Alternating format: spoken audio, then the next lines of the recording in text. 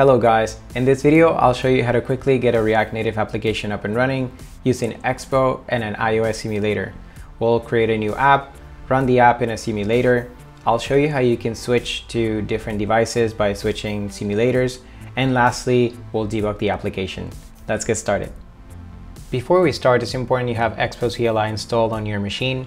Expo is a platform that helps you build React Native applications that run on Android, iOS, and web. I'll add a link to the video description so you can take a look at the installation instructions and requirements.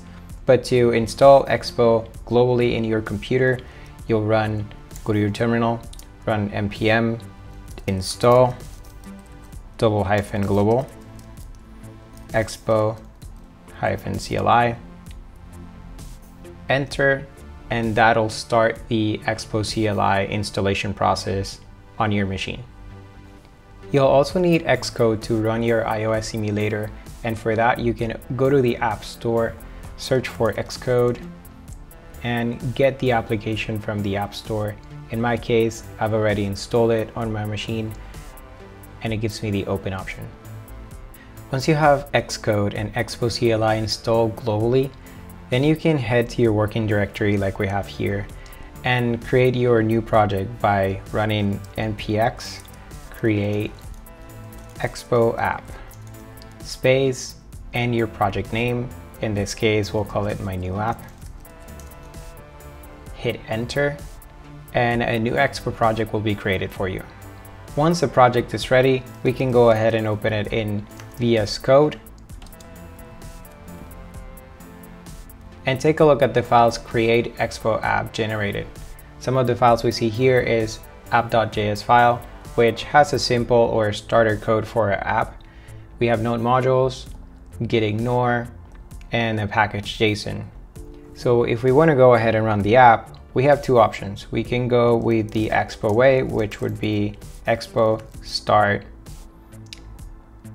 iOS, or if we take a look at the scripts in the package JSON file, we see that there is a iOS script here that runs exactly that command I just told you about. So we can also run it by typing npm run iOS, and this will start opening the app in our iPhone or our iOS simulator. And you can see here, the app successfully opened in our iPhone 13 Pro simulator. All right, now I want to show you how to debug the application and for the purpose of demo, I wrote a very simple code with two functions. One function will prompt the user for their name and the other function will just display a greeting with that name that was just entered. The return statement here just checks for that name, make sure it's, if there's a name, it'll show the greeting, otherwise it'll show the user the prompt asking for the name Let's take a look at the functionality. Welcome, please enter your name. User enters their name and we have a very simple welcome message saying, hi Louise, welcome to this app. Now, what, what we wanna do is test your application or debug your application. And usually when we're debugging applications, whether it's React Native or web, we can take a look at the developer tools and see our code, put breakpoints in it, and the same case goes for Expo app.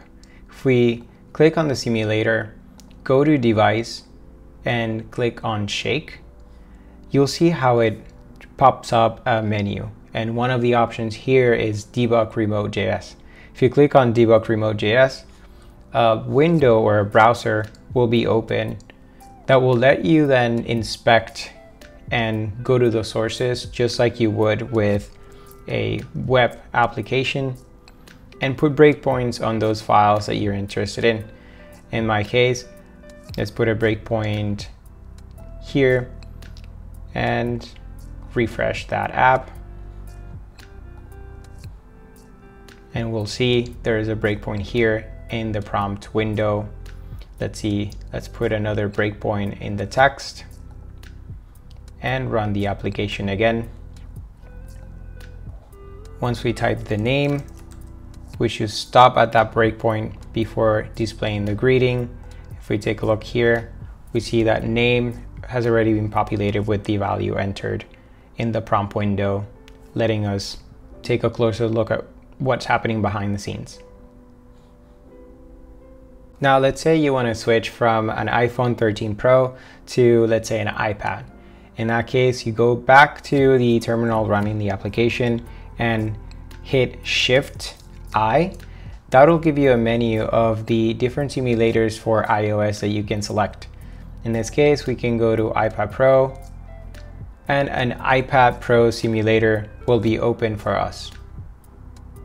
There it is. It'll open the iPad Pro. It'll open Expo Go with our application so we can test it in a different device. And that's it, you guys. I hope you gained some foundational knowledge on how to start working with React Native using Expo and an iOS simulator. We learned how to switch between simulators, how to debug our app, and of course, how to create an app from scratch. I hope you have a great day and I'll see you in the next video.